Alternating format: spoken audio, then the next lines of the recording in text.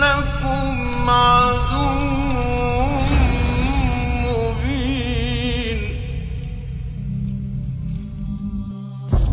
د سحر او جادو ډولونه د دې تظاهر جادو حکم څه شی دی؟ حکم یې څه دی چې ماشومانو ته د جادو لوبې اخلي؟ چې په دې لوبو شوبده بازي کوي او کارتونه پټوي. یو کارت واخله. په حقیقت کې دا کار پرته له شک حرام دی. ولې؟ ځکه دا په یو شکل له جادوګرو تقلید دی. ځکه دا جادو او جادوګر سره د مینې پیدا کېدو سبب کېږي او هغوی جادو ته هڅول کېږي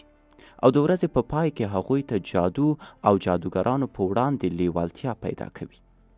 او دا یو ګام دی د رښتیني جادو په لور. نو د داسې شیانو اخیستل ماشومانو ته جواز نه لري. نور علمونه چې په همدې شکل جادو سره اړیکه ولري همدا حکم لري. د بېلګې په ډول د غیب ویل، غیبت کول، فال لیدل، لاس کرښې کتل، وړاندوینې، یو فالبین چې ووایي چې زه ویلی شم ستا موټر چا غلا کړی دی. زه درته ویلی شم دا کار چا کړی. یو نفر پرون شپه ستا د پنجرې شیشه ماته کړه او زه ویلی شم هغه څوک دی. هغه خلک چې غیب وایي ټول دا شیان یو ځای حرام دي او حکم یې یو دی هغه خلک لکه ډیویډ بلیم کریس انجل او داسې نور چې تلویزیون کې وینو دا څنګه دي د لیدو حکم یې څه دی ویل کېږي چې ځینې د دوی خپلې نندارې لپاره د کمرې له مهارتونو استفاده کوي، د سټیډیو او کمپیوټر له پروګرامو ګټه اخلي. آن که دا خبره رښتینې وي، لیدل یې بیا هم حرام دي. خو دا چې زه لږ علم لرم، الله بهتره پوهېږي. ما ته داسې ښکاري چې دا خلک په رښتیا هم له جادو ګټه اخلي.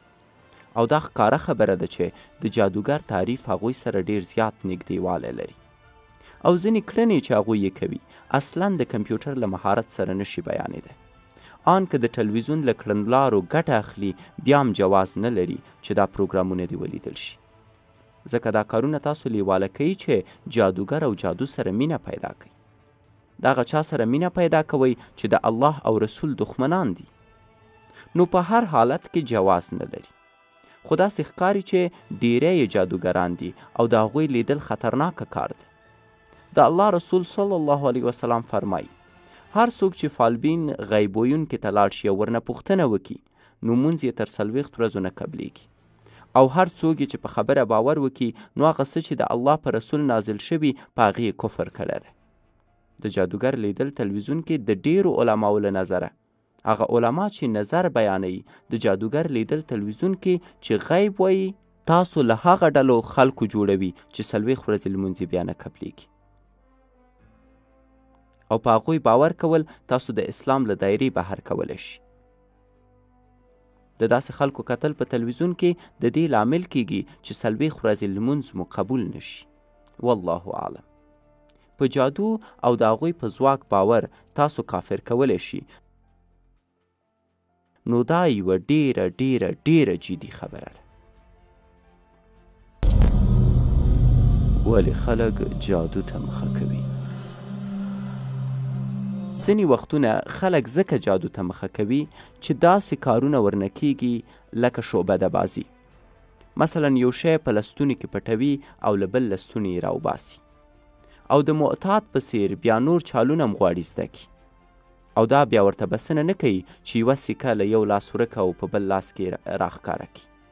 نو باید نور او نور زده کړي تر څو دا چې ورسیږي هغه مرحلې ته چې رسیدل یې خطرناک دي لکه د شیطان تخته چې له لیارې شیطان سره خبرې کیږي او یو ځل چې د شیطان لومه کې ګیر شو نور هم بیا مخته ځي ځینې پرته له پوهې جادو ته دننه کیږي داسې کتابونه لولي چې پکې ویل کېږي دا کار وکړه دا کار به ستا د میرمنې مینه له تا سره ډیره کړي دا کار به د خاون مینه ډیره کړي دا به د دښمنان تا نه کرکې ته مجبوره کړي دا به د دښمنان له منځه یوسي دا شیان ولیکه دا شیان ووایه او دا کارونه وکړه نو خلک له ډول ډول لارو جادو ته دننه کیږي ځینې خپل نفس نه د پیسو او شهرت لپاره پیروي کوي ځینې دنیوي هیلې تر اغېزې لاندې راولي چې وروسته په دې اړه بیا درته په تفصیل سره وایم ځینې خلک په تدریج سره جادو ته مخه کوي نو په تدریجي ګام په ګام له ساده چالاکۍ ګټه اخلي او په همدې شکل مخته ځي تر څو رښتیني جادو ته لاره پیدا کړي او ځینې وخت خلک دا معلومات کتابو کې پیدا کوي او پرته له پوهې ورباندې باور کوي چې سم کار نه ده او کله چې ورباندې ککړ شو نو د شیطان په لومه کې راګیر شو او کله چې شیطان راګیر که بیا نو ریښتینی جادو باندې پیل کوي. نن د ټولنې ممتاز خلک میلیونونه ډالر په داسې تلویزیوني پروګرامو مصرفوي لکه د امریکا برتره وړتیا، د انګلیس برتره وړتیا، د جادو لوی رازونه او داسې نور چې ټول یې سحر او جادو ترویجوي هغوی په حقیقت کې د جادو په رواجولو او د خلکو په جلب کولو کې دا کار کوي او د دې په واسطه غواړي ټولنه دې باور ته ورسوي چې انسان کولی شي ماوراوي یا خدایي ځواک ته ځان ورسوي دا ویډیو د هغه زرګونه تلویزیونو برنامو یوه بیلګه ده چې سحر او جادو ترویجوي وګورئ چې د دې برنامو تر شا پټې دسیسې څه شی دي دا مونږ انسان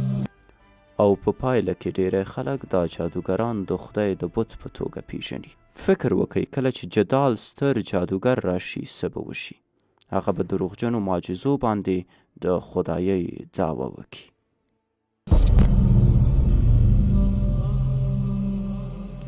کابالا څه شی دی کابالا د یهودو پخوانۍ جادو ده چې نن د ممتازې ډلې ایلومیناټي له خوا ورنه ګټه اخیستل کېږي. هغوی له خاصو اعدادو او علاماتو نه ګټه اخلي چې پېریانو سره اړیکه ونیسي او په لویو پېښو کې د دې اعدادو نه په ګټې خپله بندګي خپل سرور ابلیس ته اظهار کوي.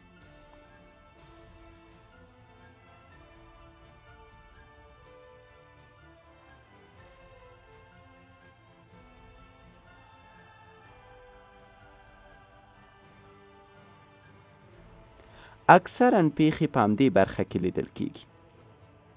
او د هغې درک د خلکو لپاره ډیر سخت دی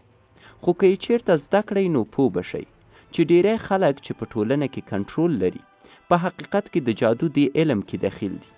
کله چې سیړنه وکړئ ورباندې پوهیږئ ډیری خلک چې د فلمو صنعت، موسیقي او اطلاع رسونه کې مصروفه وي دوی پوهیږي چې څنګه د خلکو ماغزه کنټرول کړي. دوی که دا کار د جادو په وسیله کوي یا د ټکنالوژۍ د ځواک په واسطه خو پایله یې یوه ده. داسې خلک ویني لکه کوم ځواک چې نیولي وي. دا ډیره عجیبه ده چې سټلایټونه د دوه ویشت زره لوړوالي په اندازه ایښي دي. ځکه دا یوولس، دوه ویشت او درې دېرش خاص اعداد لري. ځکه یوولس ضریبه لري داسې نور شیان. زه نه پوهېږم خو موږ ټول غواړو ورباندې پوه شو خو دا شیان ریښتیني دي جادو یا هر نوم چې ورکوئ حقیقت لري په دې وروستیو کلو کې راته ښکاره شوې ده چې څنګه یو ځواک د دې تر شا کار کوي او اوس راته ډیر ښکاره ده چې ولې دومره احادیث او دعاګانې زموږ د ساتنې لپاره شته د دې شیانو نه د ژغورنې لپاره دا شر دی او ورسره تاسو پوهیږئ د شیطان نفوذ دی رسول الله صلی الله علیه وسلم فرمایي یا دا چې حاضریږي نو د جنیاتو بود ریښتینی دی او په خواشینۍ سره شته دی ډلې چې په دې برخه کې بوختې دي او دا هغه برخه ده چې هر څه ډیر عجیبه کوي د نورو برخو په تمه اوسئ